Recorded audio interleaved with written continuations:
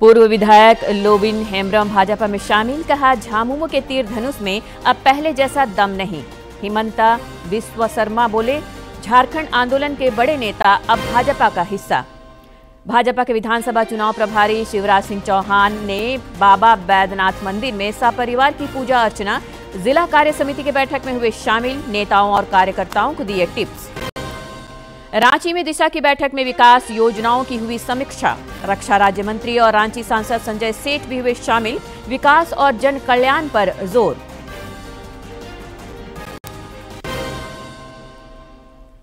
और उत्पाद पुलिस बहाली की दौड़ में पलामू में चार अभ्यर्थियों की मौत पर सरकार घिरी। सांसद बीडी राम ने सरकार को ठहराया जिम्मेदार। एक एक करोड़ रुपए मुआवजे की मांग।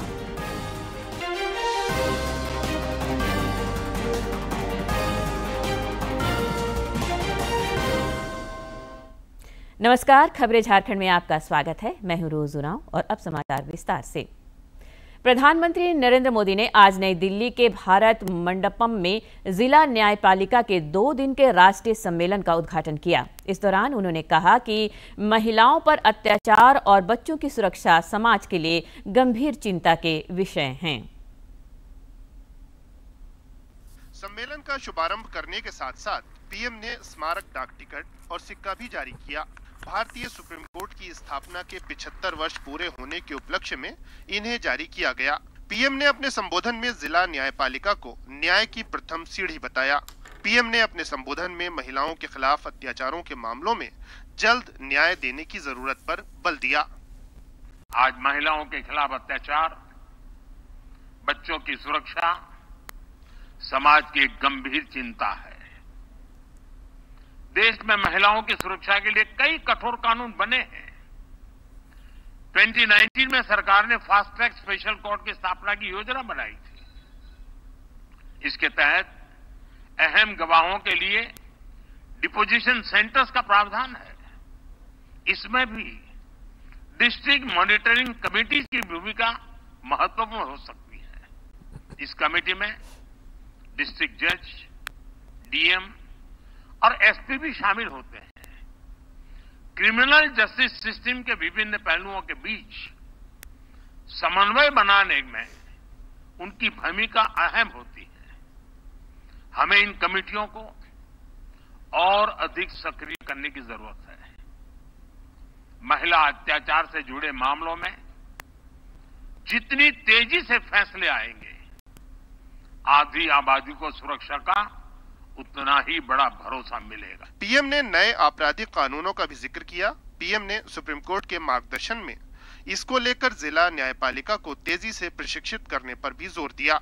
इस अवसर पर देश के प्रधान न्यायाधीश जस्टिस डी वाई चंद्रचूड़ ने जिला न्यायपालिका को न्यायिक व्यवस्था की रीढ़ बताया।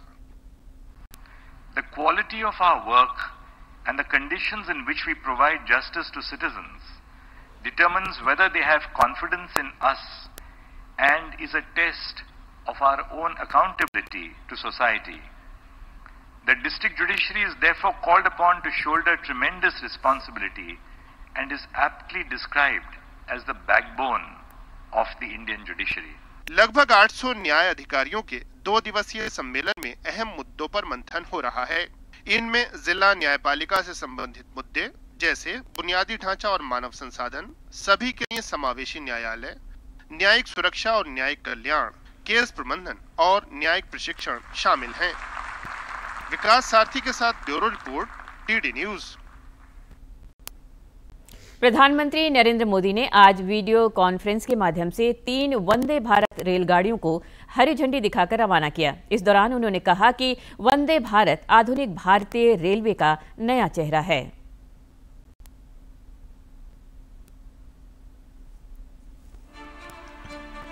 तेज और सुविधाजनक रेल सफ़र सुनिश्चित करने की दिशा में शनिवार का दिन बड़ी सौगात साथ लाया। प्रधानमंत्री नरेंद्र मोदी ने तीन नई वंदे भारत ट्रेनों को वर्चुअल माध्यम से हरी झंडी दिखाई। उत्तर प्रदेश, कर्नाटक और तमिलनाडु में बेहतर रेल कनेक्टिविटी के लिए ये बड़ा कदम है। पीएम ने मेरठ, लखनऊ, मदुरै, बेंगलुरु और चेन्नई नागरकोइल मार्गों पर इन सेवाओं का शुभारंभ किया। मेरठ, लखनऊ वंदे भारत ट्रेन सेवा पश्चिमी उत्तर प्रदेश के लोगों के लिए तीव्र गति से आरामदेह सफ़र का उपहार साथ लाई है। इससे पश्चिमी यूपी और प्रदेश की राजधानी अब और करीब आ गए हैं। कर्नाटक और तमिलनाडु में नई वंदे भारत ट्रेनों को पीएम ने दक्षिण भारत के विकास के लिए अपनी सरकार की प्रतिबद्धता का उदाहरण बताया। पीएम ने कहा कि पूरे दक्षिण भारत में वंदे भारत सेवाओं से पर्यटन और विकास के नए अवसर पैदा हो रहे हैं। इस साल के बजट में हमने तमिलनाडु को 6000 करोड़ रुपए से ज़्यादा का रेलवे बजट दिया है। ये बजट 2014 की तुलना में सेवन टाइम सात गुना से अधिक है। तमिलनाडु में छह वंदे भारत ट्रेन पहले से ही चल रही है। इन दो ट्रेन के साथ ये संख्या अब एट हो जाएगी। इसी तरह कर्नाटका के लिए भी इस बार सात हज़ार करोड़ से ज़्यादा का बजट आवंटित हुआ है। ये बजट भी 2014 की तुलना में नाइन टाइम नौ गुना अधिक है।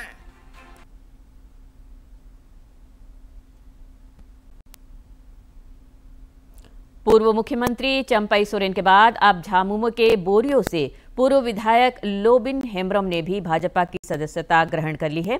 रांची स्थित पार्टी के प्रदेश कार्यालय में आयोजित मिलन समारोह में भाजपा के प्रदेश अध्यक्ष बाबूलाल मरांडी ने उन्हें पार्टी की सदस्यता दिलाई। इस मौके पर विधानसभा चुनाव प्रभारी हिमंता बिस्वा शर्मा, नेता प्रतिपक्ष अमर कुमार बावरी और पूर्व मुख्यमंत्री चंपई सोरेन समेत कई अन्य नेता मौजूद थे।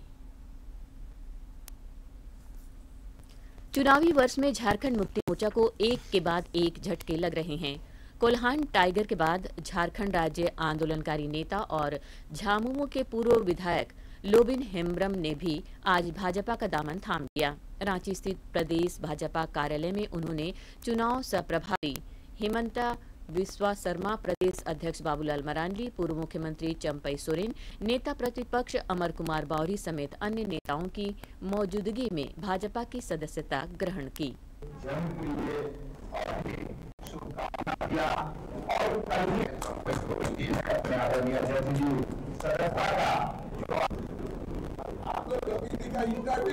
श्री हेम्ब्रम ने प्रधानमंत्री नरेंद्र मोदी और केंद्रीय गृह मंत्री अमित शाह के प्रति आस्था प्रकट करते हुए कहा कि झामुमो के तीर धनुष में अब पहले जैसा दम नहीं रहा। लेकिन माननीय मोदी शिबू सोरेन के समय का जो झारखंड मुक्ति मोर्चा था, आज वो नहीं। वो तीर धनुष में जो दम था, आज वो तीर धनुष में दम नहीं। संथाल परगना में अवैध घुसपैठ, डेमोग्राफी बदलाव और क्षेत्र में महिलाओं की सुरक्षा पर चिंता जताते हुए उन्होंने कहा कि झारखंड को बचाना और संवारना झामुमो के बूते की बात नहीं। आज यहाँ बांग्लादेशी घुसपैठी आकर के आदिवासी लड़की से शादी कर रहे लव जिहाद चल रहा है। और उस बहाने ज़मीन भी हथिया रहे हैं। और चारों पंचायत में मुखिया का पद हो, मुखिया बन रही। साथ साथ जिला परिषद अध्यक्ष भी बन रहे हैं प्रभु भी बन रहे हैं। ये बहुत बड़ी साजिश है। प्रदेश चुनाव सह प्रभारी हिमंता बिस्वा शर्मा ने कहा कि अवैध घुसपैठ के खिलाफ भाजपा द्वारा तीन महीने पहले शुरू किए गए अभियान से लगातार लोग जुड़ रहे हैं और इसको लेकर जन जागरूकता भी बढ़ी है। उन्होंने कहा कि इसका असर यह हुआ है कि राज्य के विकास और घुसपैठ मुक्त झारखंड के लिए झारखंड आंदोलन के बड़े नेता अब भाजपा का हिस्सा है। झारखंड का लोगों का साथ खड़ा हो जाइए। डेमोक्रेसी का जो चेंज हो रहा है, इसका परिणाम खाली बीजेपी को भुगतना नहीं है। ये जेएमएम को भी भुगतना है और पूरा झारखंडियों को भुगतना है। इस अवसर पर भाजपा के प्रदेश अध्यक्ष बाबूलाल मरांडी ने श्री हेम्ब्रम का पार्टी में स्वागत करते हुए झारखंड मुक्ति मोर्चा पर निशाना साधा। उन्होंने कहा कि झामुमो के नेता के लिए सत्ता सर्वोपरि है यह पार्टी दलालों से घिरी है। श्री मरांडी ने कहा कि लोग अब समझ चुके हैं कि केवल भाजपा ही वास्तव में आदिवासियों और मूल वासियों की हितैषी है,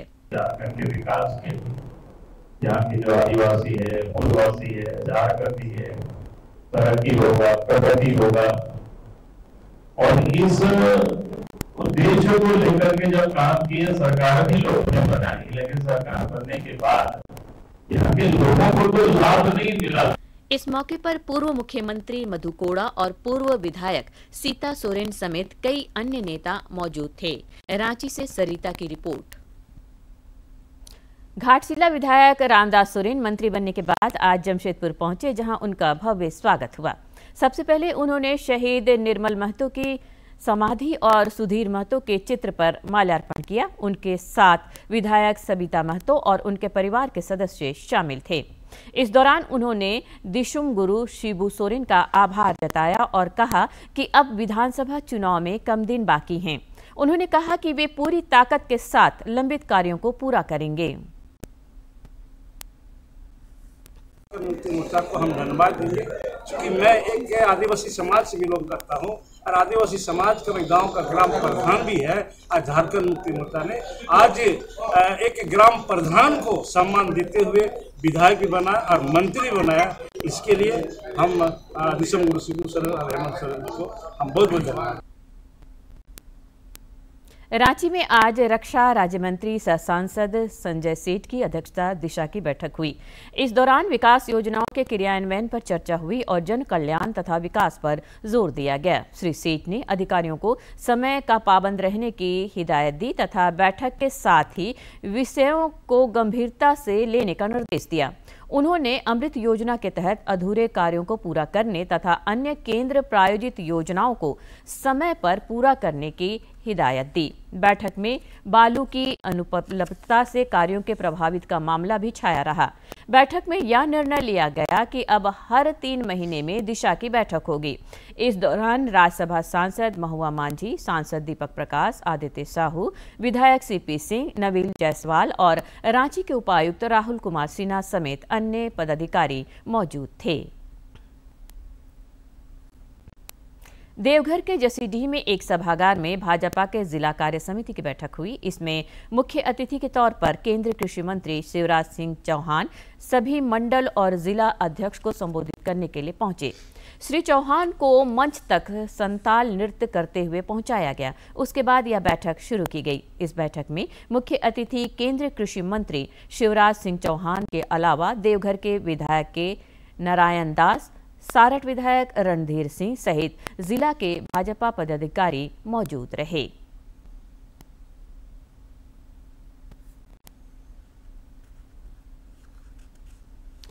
देवघर दौरे के क्रम में केंद्रीय कृषि मंत्री सह भाजपा के प्रदेश विधानसभा चुनाव प्रभारी शिवराज सिंह चौहान ने आज बाबा बैद्यनाथ धाम मंदिर में परिवार पूजा अर्चना कर मंगल कामना की। श्री चौहान देवघर एयरपोर्ट से सीधे कड़ी सुरक्षा के बीच बाबा बैद्यनाथ मंदिर पहुँचे, जहाँ पाँच पुरोहितों के द्वारा प्रशासनिक भवन में पूरे विधि विधान से संकल्प कराया गया, जिसके बाद उन्हें बाबा बैद्यनाथ मंदिर के गर्भगृह में प्रवेश कराकर बाबा बैद्यनाथ की पूजा अर्चना कराई गई।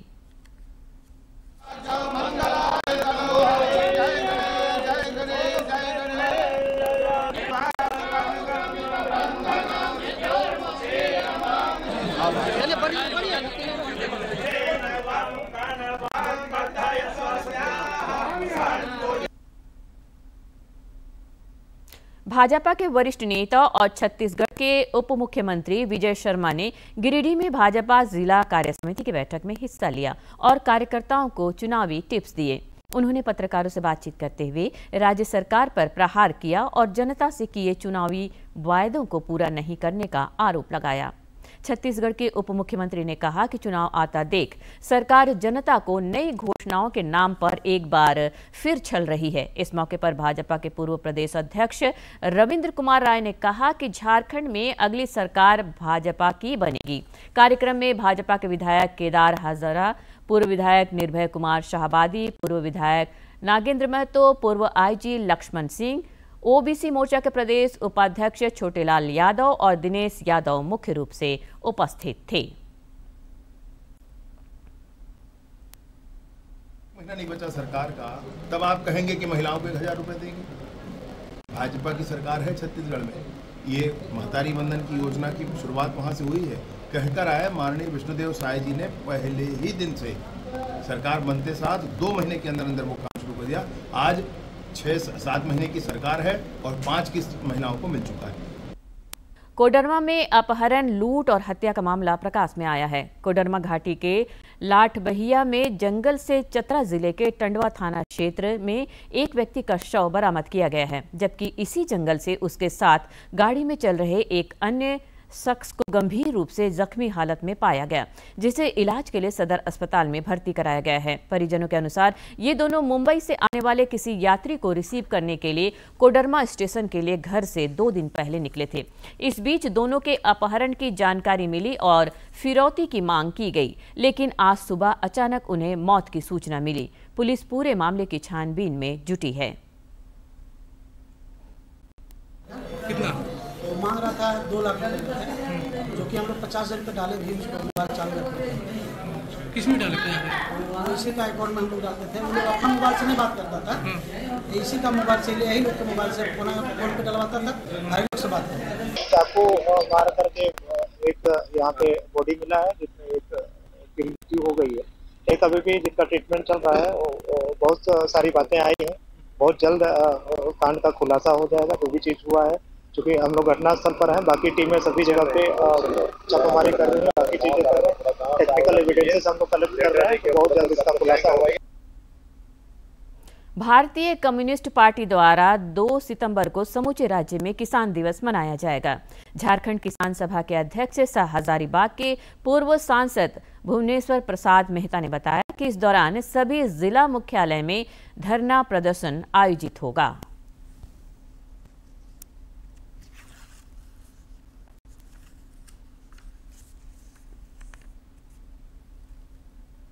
झारखंड अलग राज्य में चौबीस बरस हो गया। लेकिन अभी तक न तो विस्थापन नीति बनी और न नियोजन नीति बनी। यहाँ का ज़मीन किसानों का, गरीबों का, आदिवासियों का, दलित का जैसे तैसे अधिग्रहण हो रहा है। न तो उचित मुआवजा मिलता है और न नौकरी मिलती है। और किसानों की मांग को लेकर के धरना प्रदर्शन रैली किया जाता है। बोकारो स्टील प्लांट से अप्रेंटिसशिप किए हुए विस्थापित नियोजन की मांग को लेकर आंदोलनरत हैं। विस्थापितों ने आंदोलन तेज करते हुए प्लांट के वरीय अधिकारी, अधिशासी निदेशक को परिजनों सहित आवास में ही 14 घंटे तक कथित तौर पर बंधक बनाकर रखा। इधर बोकारो स्टील ऑफिसर एसोसिएशन के अध्यक्ष ए के सिंह ने पत्रकारों से बातचीत करते हुए कहा कि प्लांट के अधिकारी और कर्मचारी भय के माहौल में कार्य करने को विवश हैं। पूरे मामले में पुलिस की कार्यशैली की आलोचना करते हुए श्री सिंह ने कहा कि एसोसिएशन इस मामले से झारखंड के मुख्य सचिव और इस्पात मंत्रालय को भी अवगत कराएगा। ठीक हो जाएँगी और हमारे लोगों को सुरक्षा मुहैया कराया जाएगा। हमारे लोग निश्चित रहेंगे कि हमारे, इस तरह की घटना का पुनरावृत्ति नहीं होगा। तो मुझे कुछ नहीं करना लेकिन अगर कहीं होगा तो बोकारो स्टील ऑफिसर एसोसिएशन इसको उठाएगा मामले को और मैं मंत्रालय जाऊँगा पूरा डेलीगेशन लेकर के। मैं चीफ सेक्रेटरी झारखंड से मिलूँगा। माननीय मुख्यमंत्री से मिलूँगा और मिल करके इस पूरी बात को अवगत कराएँगे और मांग करेंगे कि हमें सुरक्षा दीजिए, तभी जा करके हम लोग यहाँ अच्छा से काम कर पाएँगे, नहीं आपकी योजना, आपकी सरकार, आपके द्वार कार्यक्रम के तहत आज राज्य भर में विभिन्न स्थानों पर शिविर आयोजित कर आम लोगों की शिकायतों का ऑन ऑन द स्पॉट निष्पादन किया गया। साथ ही लोगों को जन कल्याणकारी योजनाओं की जानकारी भी दी गई। मौके पर लाभुकों के बीच परिसंपत्तियों का भी वितरण किया गया। सांसद विष्णु दयाल राम ने उत्पाद पुलिस बहाली की दौड़ में पलामू के चियांकी एयरपोर्ट में चार अभ्यर्थियों की मौत पर दुख जताया है। उन्होंने इस घटना पर राज्य सरकार पर निशाना साधते हुए रोज़गार के मुद्दे पर युवाओं को छलने का आरोप लगाया। पलामू सांसद ने कहा कि चुनावी वर्ष में क्रेडिट लेने के लिए सरकार द्वारा हड़बड़ी में पुलिस बहाली की दौड़ कराई जा रही है। उन्होंने परिजनों को एक एक करोड़ रुपए मुआवजा देने की मांग की। राज्य में उत्पाद विभाग के सिपाहियों की नियुक्ति की प्रक्रिया 27 तारीख से प्रारंभ की गई है और आज 30 तारीख है। यानी चार दिनों में चार मौतें। इसके लिए कौन जिम्मेवार है? और इतना आनंद फानन में, इतनी कुव्यवस्था के बीच उत्पाद सिपाहियों की नियुक्ति में इतनी हड़बड़ी क्यों? पाँच साल के अंतर्गत पाँच लाख युवाओं को नौकरी देने का वादा करने वाली सरकार आज इतनी जल्दीबाजी में क्यों है? चुनाव आने वाला है इसलिए। अंत में मुख्य समाचार एक बार फिर। पूर्व विधायक लोबिन हेम्ब्रम भाजपा में शामिल, कहा, झामुमो के तीर धनुष में अब पहले जैसा दम नहीं। हिमंता बिस्वा शर्मा बोले, झारखंड आंदोलन के बड़े नेता अब भाजपा का हिस्सा। भाजपा के विधानसभा चुनाव प्रभारी शिवराज सिंह चौहान ने बाबा बैद्यनाथ मंदिर में परिवार की पूजा अर्चना, जिला कार्य समिति की बैठक में हुए शामिल, नेताओं और कार्यकर्ताओं को दिए टिप्स। रांची में दिशा की बैठक में विकास योजनाओं की हुई समीक्षा, रक्षा राज्य मंत्री और रांची सांसद संजय सेठ भी हुए शामिल। विकास और जन कल्याण पर ज़ोर। और उत्पाद पुलिस बहाली की दौड़ में पलामू में चार अभ्यर्थियों की मौत पर सरकार घिरी। सांसद बी डी राम ने सरकार को ठहराया जिम्मेदार। एक एक करोड़ रुपए मुआवजे की मांग।